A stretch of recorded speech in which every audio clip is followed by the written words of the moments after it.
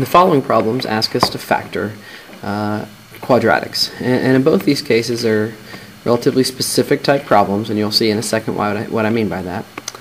But to factor, we always look at the factors of the two outside terms, the x squared term and then the number when you're factoring a quadratic. Well, 4 factors into 4 times 1, and 4 factors to 2 times 2, and 1 factors to 1 times 1. Well, the great thing is it's only option for 1. Um, and since it's a positive one, we either have to have uh, two positive ones or two negative ones. Well, since the 4 in the middle is positive, then we need a uh, two positives. Now we try them out. I always try the two closest together, so let's try the two uh, the 2's instead of the 4 times 1. You get 2x times 2x, or 2x times 2x gives you 4x squared. So then we test it to see if it's right. Well, 2x times 1 is 2x, 1 times 2x is 2x, so 2x plus 2x equals 4x.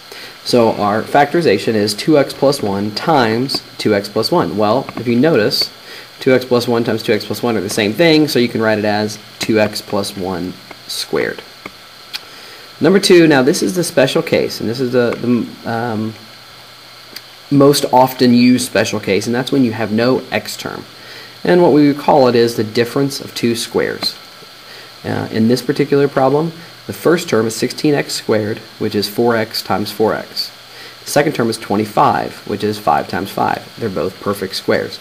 So the way you always solve this is to write in parentheses the square root of the first minus the square root of the second times the square root of the first plus the square root of the second. So the square root of the first is 4x.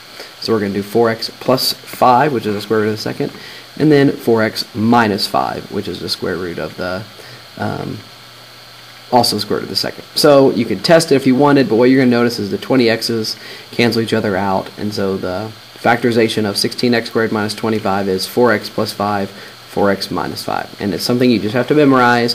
Whenever you have the difference of two squares, you end up with uh, square roots, uh, adding the square roots and subtracting the square roots.